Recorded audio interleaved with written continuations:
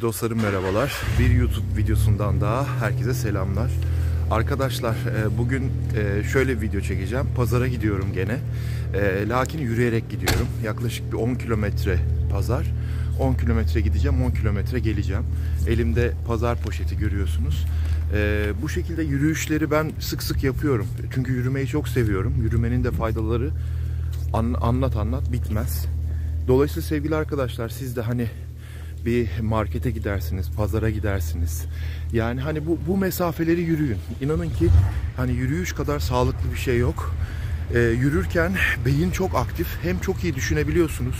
Hem kardiyovasküler sisteminiz çok iyi çalışıyor. Aynı zamanda da arkadaşlar müthiş sağlıklı. Hani özellikle sabah aç karnına yürüyüşler ya dünyanın en güzel yani bunu hayatına sokarsanız eğer gerçekten dünyanın en e, eğlenceli işi haline gelebilir. Ben o yüzden şimdi bugün pazara yürüyerek gidiyorum. Yürüyerek giderken size e, nasıl yolları göstereceğim. İnsanlar neler yapıyor onları göstereceğim. Şu anda parktayım mesela. Burada ben kondisyon antrenmanları yapıyorum biliyorsunuz. Sabah da burada çıkıp spor yapanlar falan oluyor. Bunları göstereceğim size. O zaman e, pazar macerasına başlayalım. Hadi bakalım. spora gelmiş. Size şöyle yakınlaştırayım. Şöyle bakın. Teyzem spor yapıyor. Evet geri geri ama geri geri yapıyor. Evet. Onu anlamadım. Sanırım arka bacak çalışmak istiyor. Ee, burası şöyle. Şimdi burada spor yapan arkadaşlar var. Gördüğünüz gibi boks çalışıyorlar. Güneş çok güzel, hava çok güzel. Çıkmışlar sabah ne güzel spor. Kolay gelsin. Eyvallah. Evet. Ne güzel spor yapıyorlar görüyorsunuz.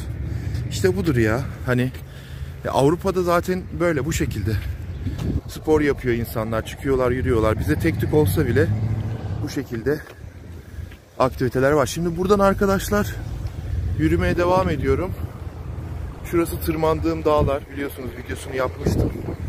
Böyle yürüyeceğim. Yürürken size yol manzaralarını, pazar manzaralarını, her şeyi Kuşadası'nı bu şekilde tanıtmış olacağım, göstermiş olacağım. Ondan sonra devam. Bir konuya da açıklık getireyim. Sporun insana kattığı birçok şey var. Yani bu yaşam disiplininizden bütün hayat standartlarınıza kadar her şey etkiliyor. Dolayısıyla sporu hayatınıza soktuğunuz zaman bütün hayatınız disipline girmiş oluyor. Yatma kalkma saatleriniz, yemek yeme saatleriniz, ne yiyeceğiniz, ne içeceğiniz sporsuz yapamıyorsunuz. Yani o antrenman ya da o aktiviteyi illaki gün içinde muhakkak ve muhakkak vücut yapmak istiyor. Bu da size sağlık getiriyor. E, sporla birlikte de e, sporun getir e, sporun getirdiği sağlıklı beslenme sistemini hayatınıza yerleştirirseniz çok daha uzun yaşarsınız kesinlikle. Yani e, ilaçlardan her şeyden en büyük fayda sporda var. Yani saymakla bitmez zaten biliyorsunuz. O yüzden muhakkak sporu hayatınıza sokun ve e, şöyle bir e, örnek de vereyim size. Eğer siz sporu hayatınıza sokarsanız ebeveynler olarak evlatlarınızı, çocuklarınıza da arkadaşlar spor alışkanlığı sağlamış olursunuz. Videom devam ediyor. Yürümeye devam ediyorum.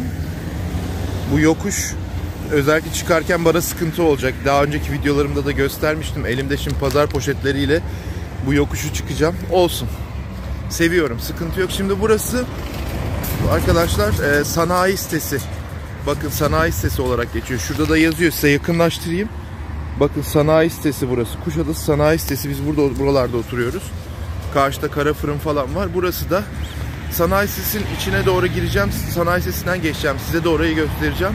Burada kargocular falan var. İşte yurt dışı kargo, MNG kargo. Şurada Galatasaray Derneği var. Sarı bina. Ondan sonra şimdi buradan sanayi sitesinin içinden geçip pazara doğru yürümeye devam edeceğim. Bu yollarda neler yaşıyorum, nasıl yürüyorum, nasıl gidiyorum, nasıl geliyorum, pazardan neler alıyorum onları size göstereceğim. O şekilde videom devam edecek. Buraları da görün, tanıyın istedim. Mesela burası sanayi Haydi bakalım. girişi. Şurası sanayi sitesinin girişi. Şuradan da bir yol var. Şuradan da evlere gidiyor. Şuradan giriyoruz. Sabah tabi hani henüz bir yoğunluk yok. Burası küçük bir yer. Öyle büyük şehirlerin İstanbul'un falan gibi büyük sanayi siteleri yok. Küçük bir sanayi sitesi. Böyle. Burada işte tamirciler var, lastikçiler var, oto yıkamacılar var. İşte Elektrik, oto elektrikçiler falan. Böyle küçük bir yer. Zaten burası Kuşadası. Kuşadası da küçük. Sanayisi de o yüzden böyle küçük. Klasik bildiğimiz sanayinin içindeyim şu anda. Survivor görüşmelerimde geç geliyordum eve. Gece 2'de 3'te bu sanayi sesinden geçiyordum. Gene yürüyerek geliyordum. Şuralardan aralardan köpekler möpekler çıkıyordu. Birkaç kere saldırıya da uğradım yani köpekler tarafından. Evet. Şimdi şöyle devam bir ediyorum. sıkıntı var. Ee, bu spor konusunda, yürüyüş konusunda, aktivite konusunda. Ya biz tembelliğe alışmışız maalesef. Ee, 100 metre uzağımızdaki bakkala, markete bile araçla gidiyoruz. İşte motorumuz varsa motorla gidiyoruz. Arabamız varsa arabayla gidiyoruz ama arkadaşlar e, böyle yollara yürümenizi ben tavsiye ederim. Hem spor olur, hem aktivite olur, hem sizi tembellikten kurtarır. Ondan sonra e, alışkanlık haline getirdiğin zaman her yere yürüyerek gitmeye başlarsınız. Bir bakmışsınız vücudunuz forma girmiş, kondisyonunuz gelişmiş, aktiviteleriniz artmış, sosyalliğiniz artmış ve beyniniz çok daha iyi çalışıyor. Ee, bunu ben kendimde yaşadım, gördüm. O yüzden de şimdi mesela bugün pazara gidilecek. Daha sonra ders vereceğim, antrenmana gideceğim falan. Ya ben şöyle düşünüyorum hani sabah bisiklet çevireceğime 45 dakika, 1 saat, 45 dakika, 1 saat giderim, pazar pazara yürürüm, pazar alışverişimi yaparım. Eve geri yürürüm. Hem kardiyo olmuş olur hem de pazar alışverişim aradan çıkar diye. Ya bu şekilde e, ben kendi tercihim bu şekilde oluyor. Şu aşağıdan arkadaşlar otogara doğru gidiliyor. Otogarın da karşısında pazar var zaten. Biliyorsunuz ben otogardan inince de eve yürüyerek gidiyorum. Bu şekilde sevgili var dostlar. arkadaşlar. Devam. Burada işte klas mobilya diyor. Şurada Fiat'ın bir bayisi var. Ondan sonra böyle metro var. işte kelebek falan. Kuşadası'nın e, burası ana yolu. Zaten Kuşadası'na girdiğiniz zaman bütün bu esnafları da görürsünüz. Kışın işler çok düşük burada esnaf işleri. Ama yazın bayağı bir artıyor turistlerin gelmesiyle. Hem Türk hem yabancı turistlerin hem yerli hem yabancı turistlerin gelmesiyle artıyor. Şurası küçük bir yer, büyük bir yer değil. O yüzden burada herkes birbirini tanıyor. Bu tarafın manzarası da böyle. Buraya yakında evleri mevleri dikerler zaten. Geçen bir orman videosu dağ, dağa tırmanmıştım. O videoyu da izleyin kanalımda var. Dağa tırmanmıştım. Dağ videosunda da zaten göstermiştim nasıl da, dağı satın almış 1,5 milyar dolara satın almış koca dağı ve oraya dağı, dağın ortasını kazmış evler yapmaya başlıyor. Vinçler kazmış. Burada böyle yazlık işte masalar falan filan satılan bir yer var. Enzo Home sanırım burası. Yanında Metro Market, yanında Kelebek Mobilya falan böyle devam ediyor. Biraz aşağıda Vatan Bilgisayar var. Onun aşağısında da arkadaşlar Kirazlı yolu var. Kirazlı yolundan da işte Bahçeli Koleji'ne gidiyor eşimin çalıştığı yere. Buradan böyle dümdüz gidiyorsunuz. Aşağıda otogar var. Oraları size göstereceğim. Otogarın da karşısında Carrefour var. Carrefour'un da altı arkadaşlar şey ee, pazar. Şimdi gidiyorum oraya. Kuşadası Kirazlı yolu. Biraz aşağı indiğim zaman Kirazlı yolu buradan işte Bahçeli Koleji'ne gidiyor. Kirazlı köy Kirazlı köyüne gidiliyor. Yukarıdan geldim ben devam ediyorum. Kirazlı diyor 11 kilometre diyor. Şimdi buradan şu aşağıdan e, otogara göstereceğim size. Kuşadası terminalini. Onun da karşısı pazar. Kuşadası'nın salı ve cuma günü kurulan pazarı. Genelde ben pazardan alışveriş yapıyorum. Çok daha taze oluyor ve daha uygun oluyor fiyatlar. Bir de çok seçenek oluyor. Burası otobüs terminali bakın görüyorsunuz. Şimdi böyle devam ediyorum. Şu ilerisi dört yol. Şu dört yoldan yukarı doğru e, Kadınlar Denizi'ne doğru gidiyor. Buradan şuradan da bu yolda yukarı doğru Davutlara doğru gidiyor. Şurası da terminal. Şimdi size göstereceğim ayrıntılı olarak terminali de. Şöyle yukarı doğru da e, Kadınlar Denizi'ne doğru gidiyorsunuz yukarıdan.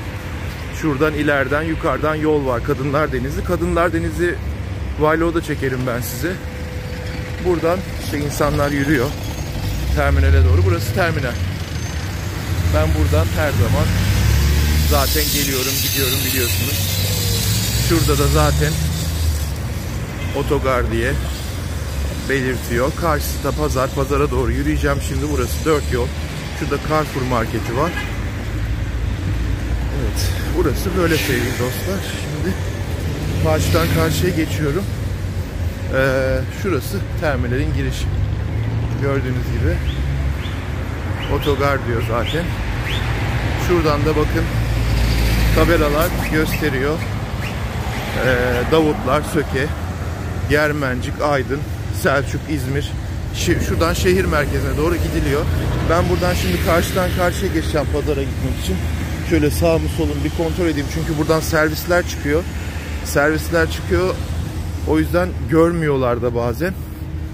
Evet karşıdan karşıya geçiyorum. Bu, bu yol arkadaşlar eee Kuşadası Stadyumuna gidiyor ve Kadınlar Denizi'ne gidiyor. Bu yolda bakın şöyle gitse göstereyim tabelayı. Buradan Davutlar Söke'ye gidiyor bu yoldan.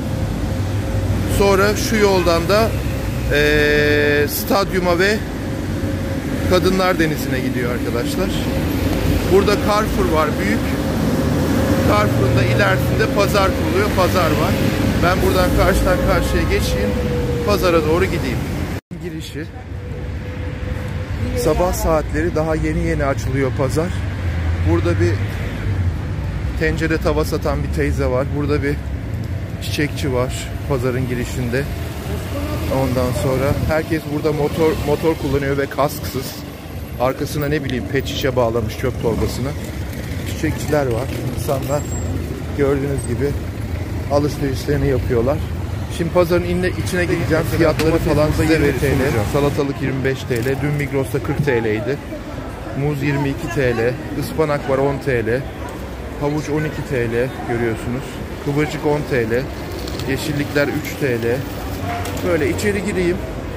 Patatesler, soğanlar. İçeri bir gireyim. Ben önce bir fiyat fiyat biz Brokoli ne kadar? Buyurun. Brokoli. Brokoli kaç para? Şey. Brokoli ne kadar? Kaç para brokoli? Brokoli. Brokoli ne kadar? 12. Brokoli 12, ıspanak da 10'dur. Devam ediyorum. Aşağılarda da fiyatlara bakacağım. Patates burada mesela 7,5, 6,5. Soğan 20, 22,5 soğan. Vay anasını. 20 lira olmuş soğan arkadaşlar. Soğan 20 lira, patates 7 lira. Enteresan. Evet, devam edelim. Bakalım fiyatlar nasıl. Şöyle devam edelim. Burada muz 23 lira. Devam ediyorum. Burada salatalık 25 lira. Fiyatlar yükselmiş. Gerçekten yükselmiş. Evet devam. Alışverişinde ben önce ağır olanları en alta ağır koyuyorum. Yani şimdi önce patatesi soğan alacağım. Ondan sonra işte meyveleri alacağım, sebzeleri alacağım. Onları da üstüne dizeceğim. Neler aldığımı da size çekeceğim. Devam. Brokoli 10 TL. Brokoliyi buradan alacağım 10 TL'ye. Ablacığım bir kilo brokoli hazırlar mısın bana? Ispanak ne kadar? Is, ıspanak ne kadar? Bir kilo ıspanak, bir kilo da brokoli bana hazırlasana zahmet. Burada patates ne kadarmış? 12,5 diyor, 10 lira diyor. Yukarıda 7,5'a da vardı. Soğan ne kadarmış? Soğan burada da 20 lira. Vay anasını. Evet, yarım kilo 20 lira, kilosu 40 lira. Çileğin kilosu 20 lira, muzun. Devam ediyorum. Önce şuradan bir brokolimi, ıspanağımı alayım. Hazırladın mı ablacığım? Tamam 10 lira. Ee, soğan soğan pahalanmış bayağı ya abi. Ha? Yani soğan 20 lira olur mu ya? Bir buçuk yarım kilo da soğan ver abi. Tamam. Soğan almış başına gitmiş. Enteresan bir durum ya. Valla. Evet devam ediyorum arkadaşlar. Evet muz burada 22 TL. Buradan şimdi bir kilo muz alacağım. Şuradan bir kilo salatalık alacağım. Ee, şöyle geliyorum. Bir de yarım kilo yarım kilo limon alacağım. Bu şekilde olacak. Şuradan önce şeyimi alayım. Salatalığımı alayım. Aa bir kilo salatalık versene ya. Yakında salatalık etle yarışacak ha. Yüksek onlar kardeşim. İnan biz de yüksek alıyoruz. Dün Migros'ta 40 liraydı. Evet burası biraz pahalı. Evet. Devam. bana 1 kilo muz, yarım kilo da şey limon. Kivi 20 lira. Elma 10 lira. Limon 10 lira. Evet. Salatalık muzdan daha pahalı. Böyle bir olsun. Böyle bir devirdeyiz abi ya. Şaka gibi yani. Salatalık muzdan daha pahalı. Evet. Devam arkadaşlar. Burada mantarlar var. 45 lira mantarın kilosu. Yemede yanında. Aha 60 lira. Mis. Et alırım daha iyi. Devam. Arkadaşlar eee, ben böyle işte geziyorum. En ucuz nerede? Pazarlık ediyorum falan filan. Seviyorum pazar alışverişini. Şimdi yeşillikler kaldı. Yeşilliklere doğru gidelim. Ondan sonra yavaş yavaş pazar alışverişini bitirelim. Çok bir şey almayacağım çünkü. Eee, bugün günlerden cuma, salı günü de bayağı bir pazardan alışveriş yapmıştım. O yüzden bugün bir yeşillikleri alıp çıkacağım artık. Belki ba- başka bir şey takılırsa alırsam size çekerim. Devam. Yok bir kilo yeter. Burada arkadaşlar bu da mı 12,5? Normal kırmızı elma da 12,5. Bu da tamam o olsun. O da 12,5. Şimdi ben Granny Smith ekşi elma yiyorum. Buradan bir ekşi elma alacağım. Evet. Devam. Dün Migros'ta kolisi 90 küsür liraydı. Markette de 90 lira olmuştu. Burada kolisini 55'e buldum. Ondan sonra e, burada kolisi 55 TL'den yumurtamı alacağım. Ondan sonra alışverişim devam edecek. Haydi bakalım. Onun aynısı Migros'ta dün 90 lira mıydı neydi? Ee, altılı yumurta 25 TL'ydi. Düşünebiliyor musun? Al abi. Hiç ya 10 liram var. Yok be bozuk. Arkadaşlar bundan aldım. Başkaları da var ama bu gayet ekonomik. 55 TL 30 tane yumurta. Devam. Fiyatlara bakalım. Kırmızı biber 25 lira. Normal biber Charleston biber köy biberi 20 lira. Sivri biber 50 lira. Burada domates 20 lira. Burada bak, bak burada salatalık 25 lira. Bak şimdi bak bak. Biraz ileri gidiyorum. Abla ne kadar tane? Geliyorum. Böyle biraz ileri gidiyorum. Burada patates mesela 7,5 lira. Ben 10 liraya aldım. Burada 7,5 lira. Soğan her yerde pahalı. 20 lira, 25 lira. Bak burada kilosu salatalığın 20 lira. Arada 5 TL fark var. Böyle gezmezseniz benim gibi kazıklanırsınız. Evet. Devam edelim. Abla bana roka. Roka. Roka bunlar mı? Kaç tane? Al. Bir tane roka, bir tane dereot. İkisi altı mı yaptı? 10 lira. Kıymeti 5 lira. 5 mi? E, yanda 3 lira dedi ya. Dur yok 5 lira çok pahalı ben onları almayacağım. 5 lira pahalı. Ben burada 3 liraya mı sormuştum?